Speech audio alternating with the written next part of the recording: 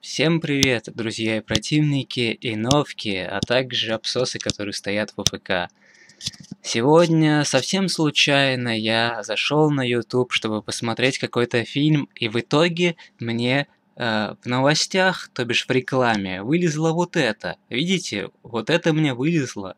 И Innova System купила рекламу у Ивангея, то бишь 4 гей купил рекламу у Ивангея, понимаете?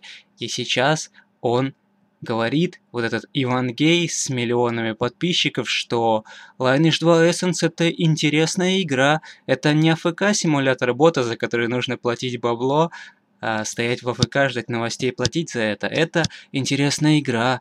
А давайте послушаем, что он говорит экономикой, открытым миром, стильной броней и, конечно же, эльфийками. Yeah. Эльфичка, храбрая амазонка, ты выйдешь за меня. Первым, что бросается в глаза, это огромная кнопка с мечом. Это уникальная фишка L2 Essence – автоохота. Если нажать на нее, то персонаж начинает бить мобов автоматически. Let's go! Бля, да это... Сука, вот ну что за... Вы понимаете, да, ребятки? Как же это увлекательно нажать одну кнопку и платить за это?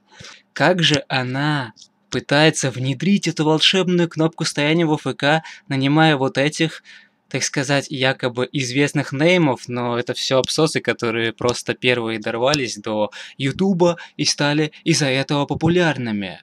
А если бы были какие-то альтернативы, были другие ребята, то они бы также в то время получили какую-то популярность. Просто тогда не было конкуренции, понимаете? И вот этого абсоса с миллионами подписчиков, шарашка, заставила рекламировать волшебную кнопку стояния в АФК и платить за это.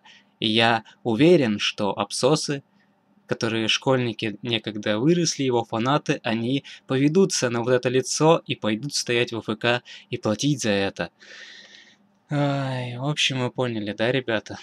Она уже вот этих имангеев заставляет рекламировать разводняк от 4 гея. Спасибо.